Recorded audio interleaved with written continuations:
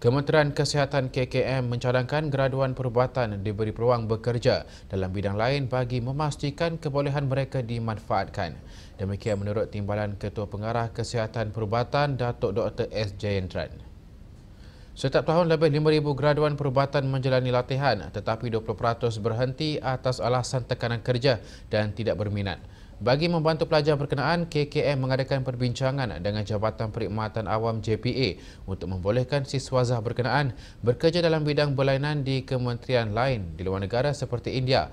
Siswazah yang mempunyai sijil kedoktoran boleh bekerja di kedutaan negara itu atau bahagian perbendaraan.